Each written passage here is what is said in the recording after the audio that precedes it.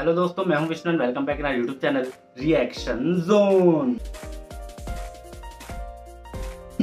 और दोस्तों, कैसे? तो दोस्तों, जैसा कि हमने पिछला वीडियो देखा था नेपाल के कुछ अमेजिंग फैक्ट्स के बारे में, और जो आज मैं आपके पास वीडियो लेके आया हूँ, वो और भी ज़्यादा रोमांचक वीडियो है, जिसका नाम है नेपाल का सेक्स फ्री विलेज मतलब कि नेपाल का रेड लाइट एरिया जहाँ पे आप आगे समझ ही होंगे मैं क्या कहना चाह रहा हूँ। चलिए, वीडियो को पूरा देखते हैं, उसके बाद डिसाइड करेंगे क्या कि ये वीडियो सच है या गलत है, क्या इसके अंदर सच्चाई बताई गई है, क्या इसके अंदर झूठ बताया गया है, वो तो हमें वीडियो देखने के बाद ही पता चलेगा। और ये जो वीडियो हम देख रहे हैं, ये विनय महाराजगंज वीलॉग के यूट्यूब चैनल से हम लोग वीडियो देख रहे हैं, जिनके 78 के सब्सक्राइबर्स हैं, अच्छे खासे सब्सक्राइबर हैं। इस वीडियो के व्यू भी बहुत अच्छे व्यूज़ गए हुए हैं। तो चलिए, इस वीडियो को पूरा एंड तक देखते हैं और समझते हैं क्या है असली माजरा। और फिर वीडियो के एंड में डिस्कशन करेंगे थोड़ा सा वीडियो के बारे में, नेपाल के लोगों के बारे में और उनकी क्या राय है इस वीडियो को लेकर के। ओके दोस्तों, चलिए स्टार्ट करते हैं वीडियो को। और हाँ दोस्तों वीडियो स्टार्ट करने से पहले, अगर अभी तक आपने चैनल को सब्सक्राइब नहीं किया है तो पहले तो आप चैनल को सब्सक्राइब कर लीजिए और मुझे इंस्टा फेसबुक फॉलो कर लीजिए, जिससे कि मैं कोई भी वीडियो आपके पास लेके आऊँ, सबसे पहले वो आप तक पहुँचे वो आप अपनी रिकमेंडेशन भी मुझे कमेंट सेक्शन में दे सकते हैं। अपनी राय कमेंट सेक्शन में या फिर इंस्टा फेसबुक पे भी मुझे मैसेज करके अपनी रिकमेंडेशन मुझे दे सकते हैं जिससे कि मैं उसके ऊपर भी वीडियो बनाऊँ और आप लोगों के साथ शेयर करूँ। ओके दोस्तों चलिए ज़्यादा वेट नहीं कराऊँगा सीधे चलते हैं यूट्यूब की तरफ़। स्टार्ट करते हैं वीडियो को। वन टू थ्री गो इसका मतलब यह है कि नेपाल जैसे सेक्स फ्री कंट्री टाइप का है। हाँ मैडम क्या यहाँ की लड़कियाँ जो है किसी के भी साथ जो है सोने के लिए तैयार हो जाती है? हाँ क्या था पिछली बार देखने फ्री कंट्री टाइप का है। हाँ मैडम क्या यहाँ की लड़कियाँ जो है किसी के भी साथ जो है सोने के लिए तैयार हो जाती है? हाँ हाँ मतलब होने के लिए तैयार रहती किसी के भी साथ। अब डिस्क्लेमर में देखा है, किसी का भी दिल दुखाने या अपमानित करने के उद्देश्य से यह वीडियो नहीं बनाया गया है। बस मनोरंजन हेतु बनाया गया है। बस मनोरंजन हेतु। चलिए देखते हैं क्या मनोरंजन है।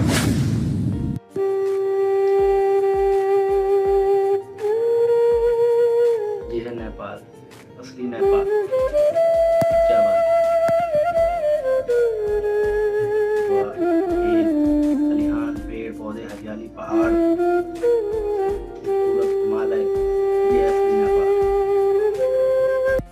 तो साथियों, स्वागत है आप लोगों का मेरे एक और नए ब्लॉग में। साथियों, में विनय कुमार।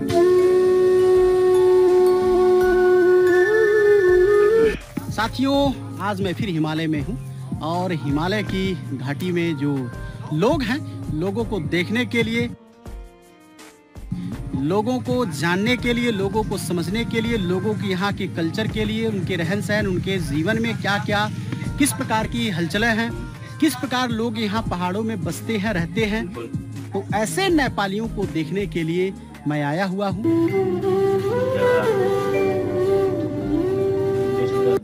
हमने सोचा कि चलो कम से कम हिमालय में घूम भी आते हैं इसी के बहाने, क्योंकि आज का दिन संडे का दिन है। तो साथियों, आपने मुझे प्यार दिया अच्छा लगा, दुलार दिया अच्छा लगा। साथियों, अगर आप मेरे चैनल पे पहली बार आए हैं तो कम से कम यार, इतना कंजूसी मत करो। हमारे इस चैनल को सब्सक्राइब भी करके आप इधर देख सकते हैं, पीछे पहाड़ है, हिमालय है, और इधर लोग वहाँ पर बसे हुए हैं। साथियों, इतनी गर्मी में मैं इतनी ऊंचाई पर आया हूँ। ऊंचाई, गर्मी में जितनी ऊंचाई पर आप जाते हैं, उतना ही सांस लेने में प्रॉब्लम होती है, ऐसा मुझे महसूस यहाँ आने पर हो रहा है। दूसरी बात, गर्मी भी बहुत काफ़ी है। यहाँ गेट पर ही लिखा हुआ है कि किसी भी प्रकार का अगर आप तोड़ फोड़ करते हैं, स्कूल को क्षतिग्रस्त करने का काम करते हैं तो आपके खिलाफ दंडात्मक कार्रवाई की जाएगी और सख्ती से आपके साथ पेश आया जाएगा। तो स्कूल को ये सरकार इतना महत्व देती है कि आप कल्पना नहीं कर सकते हैं।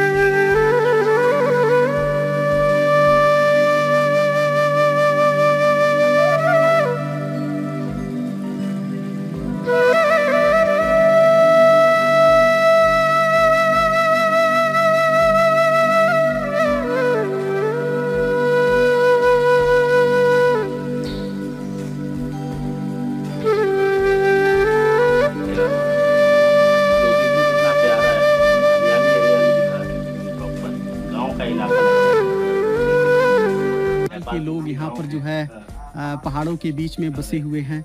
एक नेपाली महिला भी जो है कि यहाँ खड़ी हैं। और यहाँ का जनजीवन कुछ अलग है, यहाँ का कल्चर भी अलग है। देख सकते हैं सभी प्रकार की सुविधाएँ।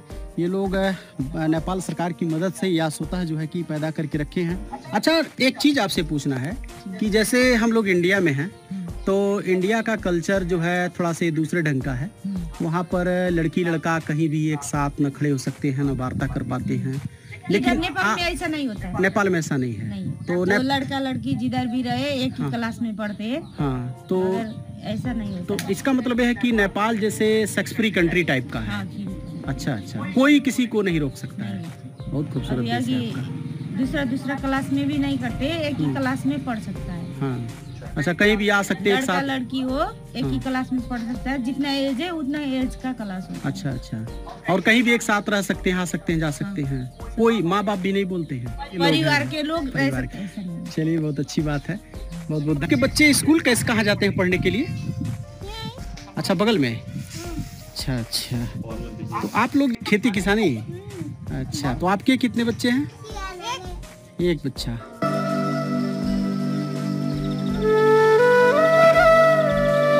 खास बात यह है कि सेक्स फ्री कंट्री है।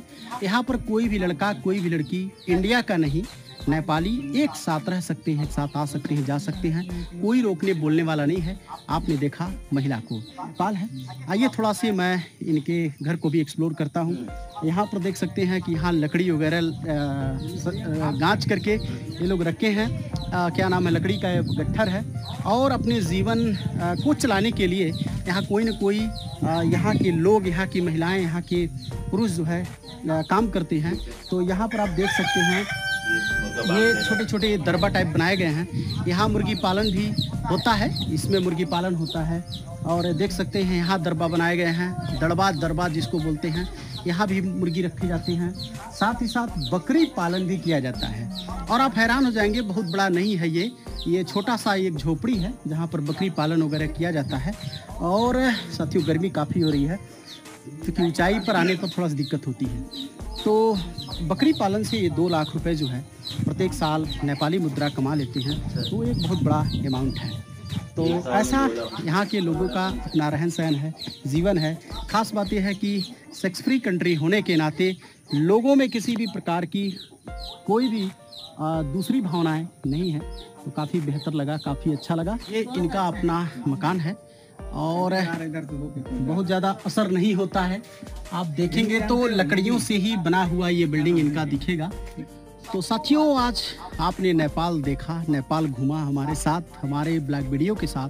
आप लोगों को नेपाल कैसा लगा? खा अच्छा लगा हो तो आप एक प्यारा सा लाइक और कमेंट ज़रूर करें। और अगर बेहतर लगा हो तो सब्सक्राइब भी करें। दोस्तों जिसको वीडियो अच्छी लगी हो चैनल पे मज़ा आया, वो इनके चैनल को सब्सक्राइब करें वीडियो अच्छी लगी तो लाइक करें। और जहाँ तक इन्होंने इस वीडियो को बनाया, मैं वीडियो के बारे में बताना चाहता हूँ कि जैसे कि ये उसमें वार्तालाप कर रहे थे। स्टार्टिंग में जो इन्होंने कहा कि कोई भी एक लड़का लड़की साथ में सो सकते हैं और फिर जो औरत है वो कहती है हाँ तो वो एक एडिटिंग थी। तो जो वो औरत कहना चाह रही थी, इस वीडियो के अंदर हमें जाकर के पता चला। थंबनेल में तो पता नहीं क्या क्या लिखा हुआ था, लेकिन वीडियो के अंदर जाकर के हमें पता चला ये एक तरह का वीलॉग था, कोई भी फैक्ट नहीं है। एक वीलॉग बनाया हुआ है, जिसमें कि जो स्टार्टिंग में जो फ़र्स्ट क्लिप है, उसको एडिट किया गया था कि लड़का लड़की साथ में सो सकते हैं, ऐसा उन्होंने कहीं भी वीलॉग में पूछा नहीं, ना हमें शो किया। लेकिन जो भी इसके अंदर बताया गया कि लड़का लड़की एक साथ पढ़ सकते हैं, एक साथ घूम सकते हैं, लेकिन स्टार्टिंग में इन्होंने कहा, विनय साहब ने कहा कि भारत में ऐसा नहीं है कि लड़का लड़की साथ में खड़े नहीं हो सकते या फिर साथ में घूम नहीं सकते तो वो बहुत ही गलत चीज़ कही है इन्होंने, ऐसा बिल्कुल भी नहीं है भारत में। सब लोग एक साथ मिलजुल के रहते हैं, लड़का लड़की आजकल तो कोई भेदभाव नहीं है। सब कंधे से कंधा मिला करके लड़कियाँ लड़कों से ज़्यादा अच्छा काम कर रही हैं, अच्छी रैंकिंग पे जा रही हैं, पढ़ाई में और जॉब में हर जगह वो लोग लड़कों से कंधे से कंधा मिला के जॉब करें तो ऐसा नहीं है कि भाई कि लड़कियों को दबा के रखा जा रहा है इंडिया में। ऐसा नहीं है। नेपाल को भी हम बहुत अच्छी तरह से जानते हैं। नेपाल एक बहुत ही खूबसूरत देश है। अपनी खूबसूरती के लिए जाना जाता है। हिमालय की वजह से, ग्रीनरी की वजह से और वहाँ की जो जो पशु पक्षी हैं, उनके बारे में जितना जाना जाता है, उसके बारे में पूरी दुनिया जानती है। लेकिन इस चीज़ को लेकर के मैं बिल्कुल एग्री नहीं करता हूँ कि जो भी बताया गया कि नेपाल का रेड रेड लाइट एरिया है, लड़का लड़की साथ में सो सकते हैं, किसी को प्रॉब्लम नहीं होती है तो यार नेपाल एक हिंदू कंट्री है, इकलौती हिंदू कंट्री है, वहाँ पे बिल्कुल भी ये सब अलाउड नहीं होगा। हाँ वहाँ की एज होती है, जैसे कि इंडिया में 18 है 21 है 18 प्लस होने के बाद एडल्ट में काउंट होते हैं, उसके बाद वो लोग कुछ भी करें, लेकिन नेपाल का अपना एक अलग कल्चर होगा, एक अलग रूल्स होते हैं। तो उस रूल्स को फॉलो करें। मैं बस ये चाहता हूँ कि रूल रेगुलेशन को फॉलो किया जाए, कुछ भी गलत कदम ना उठाया जाए। लड़का लड़की एक समान होते हैं, साथ में सो सकते हैं, सोने वाली बात बिल्कुल गलत है। हाँ घूमने फिरने के लिए क्लास में पढ़ने के लिए स्कूल जाने के लिए कॉलेज जाने के लिए यार दोस्त होते हैं, साथ में घूमते हैं, मस्ती करते हैं, वो एक अलग बात है। और जो इसमें बताया गया, इसका थंबनेल देख के जो हमने इस वीडियो को देखा, उससे हमें पता चल गया कि आखिरकार ये वीडियो किस बेसिस पे थी और हमें सारे के सारे चीज़ें हमारी पूरी क्लियर हो चुकी हैं कि ये वीडियो किस बेसिस पे था। आपको वीडियो अच्छी लगी तो उसको लाइक ज़रूर करें और शेयर करना ना भूलें, ताकि ऐसे थंबनेल को देख करके आप लोग क्लिक करके वीडियो देखते हैं और फिर अंदर कुछ और ही मिलता है। तो चैनल को सब्सक्राइब करें जिससे कि आपको और भी ज़्यादा नॉलेज मिले और आपको इससे रिलेटेड और कोई वीडियो है तो मुझे कमेंट सेक्शन में बताइए फिर मुझे इंस्टा फेसबुक मैसेज करने में उसके ऊपर अपना डेस्क बनाऊँगा तो आप लोग साथ शेयर करूँगा ओके दोस्तों, बाकी आज के बस नहीं और लास्ट में बस इतना कहना चाहता हूँ कि आप लोग अपना प्यार यूट्यूब बरकरार रखिए, मुझे सपोर्ट करते हैं जिसमें ऐसे और भी डिसाइड वीडियो देता हूँ और आप अच्छे तो दोस्तों, मिलते हैं फिर अगले वीडियो में मज़ेदार पॉपकॉर्न तब तक के लिए बाय बाय